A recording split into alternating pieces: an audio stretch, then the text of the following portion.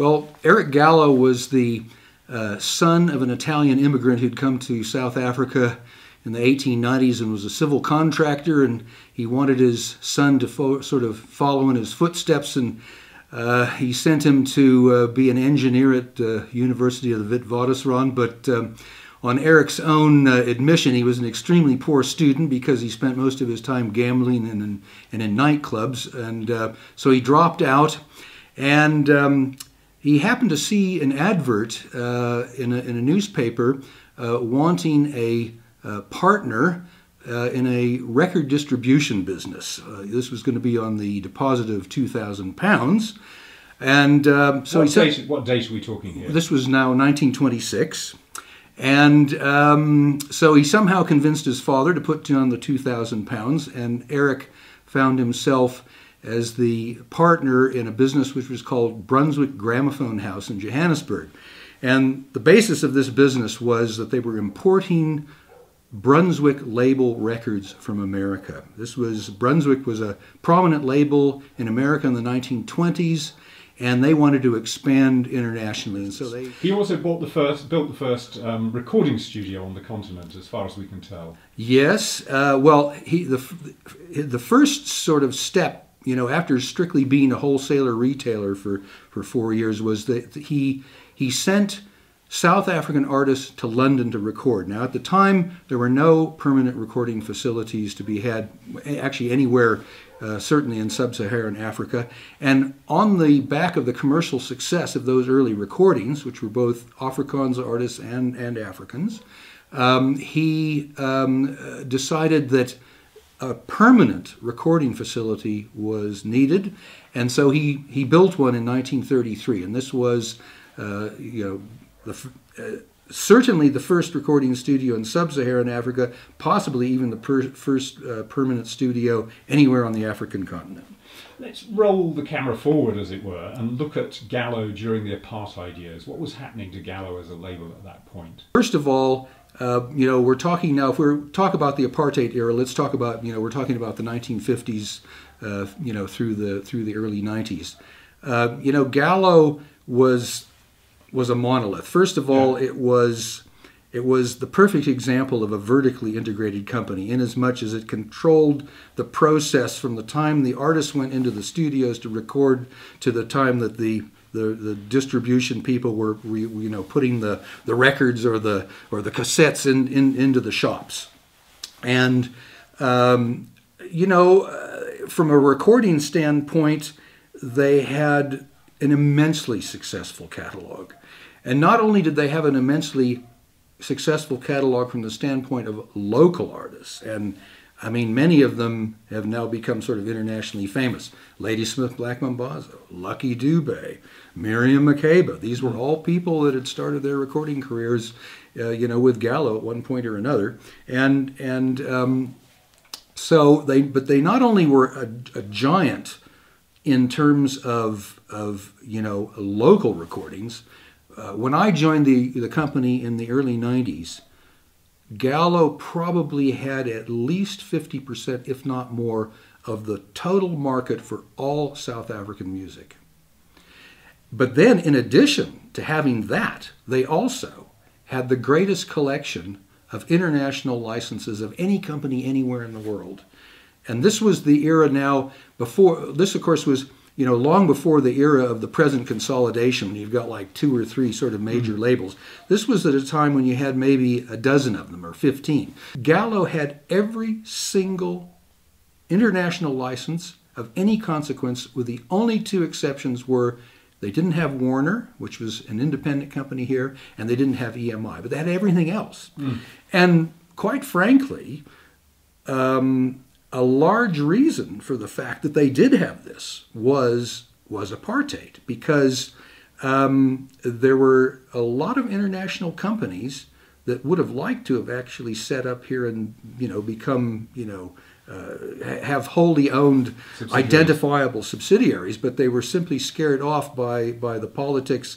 Even even yeah. before the even before the cultural boycott really started to kick in. For example, two two of their major deals which were which were joint ventures dated back to the mid 1960s. They had a joint venture with what was then Columbia CBS Records, later to become Sony. That was the one. And the other one was where they had a JV with what eventually would become a, a Polygram.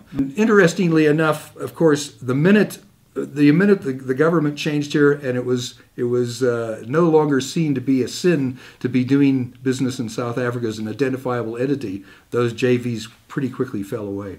And the reality of running a record label successfully as a business here in South Africa is that you have to have both local and international. Why is that? It just has something to do with the sort of the the cyclical nature of of of, of music and musical trends and you, you know. might have you might have like small record companies that would survive for a while strictly on local catalog but if you're talking about an organization of, of any size and continuity you had to have those international licenses to, like I say, sort of you know roll roll with the cycle mm. when when you know maybe things times were not so good. Uh, times were not so good, or maybe you'd just chosen the wrong local artist to record. Mm. Uh, and if you look at the history of any of the large record companies here, they always you know you always needed those international licenses, and I suspect that the same thing is is true today.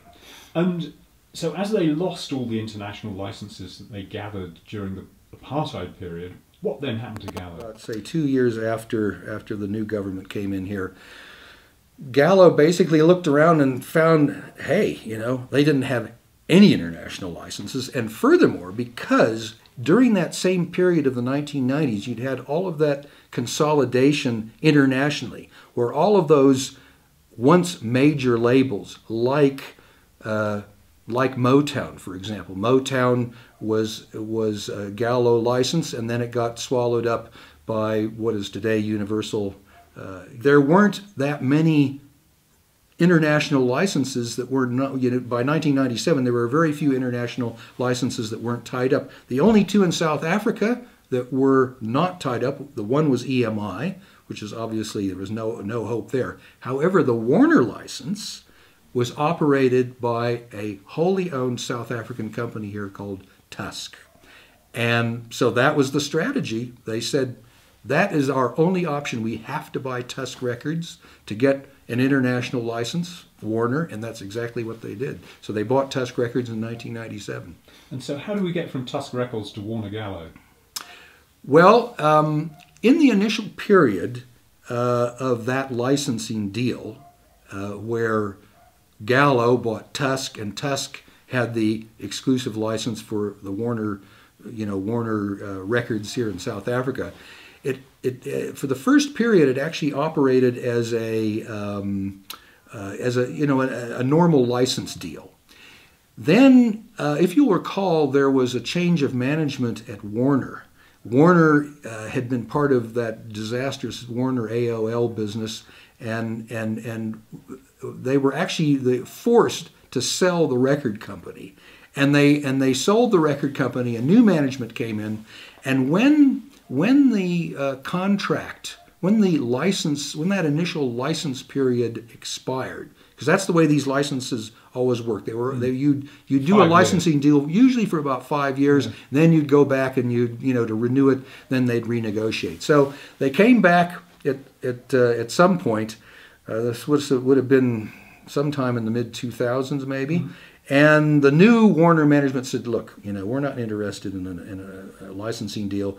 If you want to continue to have our, our uh, you know, license, we want a JV. So that was the that was the beginning of this situation where you had it was actually a separate company that was, if I recall correctly, it was 51% owned by Warner, 49 by Gallo, and it was called Gallo Warner.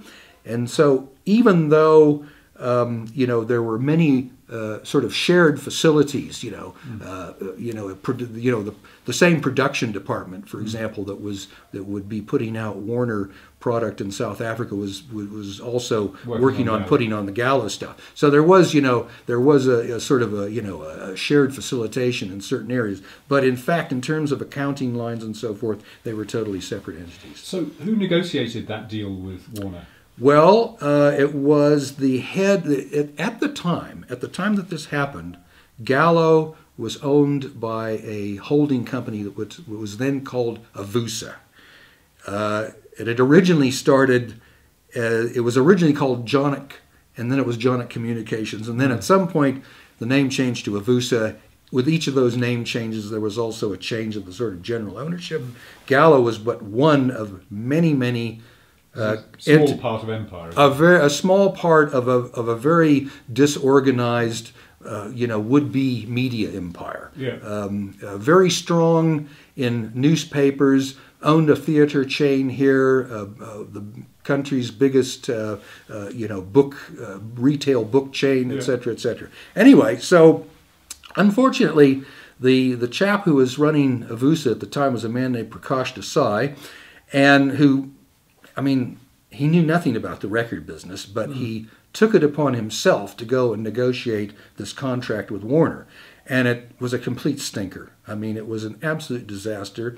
It was so disadvantageous to Gallo that it was virtually impossible for, for Gallo to make, you know, to make any money out of it. Gallo Warner continued to have to pay this very, very high uh, royalty rate to the parent company. So I mean, it was it was it was was a bad deal. it was a bad deal. It was a and, bad and deal. the, the consequence of that was that the, the company then ended up losing money. Uh, They lost money, and and uh, you know uh, at the same time that that the Warner Gallo side was losing money. Uh, you know the the uh, fortunes of the the local division were also uh, you know declining, and um, there was another change of ownership, which happened, uh, uh, you know, October 2012, uh, where a new lot took over the holding company. Yeah, the name was it was yeah the name was changed to Times Media Limited Yeah. TML, and um, right from the start, the new owners made it very very clear that in fact they weren't very interested in in any of Avusa's uh, holdings, uh, save you know the newspapers and and uh, you know they have a business television channel, et cetera, et cetera. So I'm sure at that point they just looked at this at this Gallo business and they just saw nothing but but red ink. I mean, the company in fact had started to lose money. I think they were, well they reported their first loss at the end of the financial year of uh, two, 2007 2008 and at that point uh, you know, you, you, of course, hindsight's an exact science, but you could already see that you know the handwriting was kind of on the wall. Yeah. Uh, it was there was nothing but losses. So when this the new owners came in, I mean, it was just you know it was it was just you know there was no way that these guys were going to mess around with a, a money losing entity that, that that they'd already declared they had no interest in whatsoever. And um, you know the the um, the last five year uh, contract with uh, you know with with Warner terminated in um, I believe it was June of this year 2013 uh, and it, that was at the same time that basically they pulled pulled the plug on the entire operation they've left a, a sort of a skeleton staff Yeah. to just look after uh, you know people that want to um, you know continue to uh, you know uh, use you know Gallo songs and so forth Yeah, but for things like movies. for yeah, that's right. But it's Yeah. uh, for, the, for the record companies, for all intents and purposes, been shut down.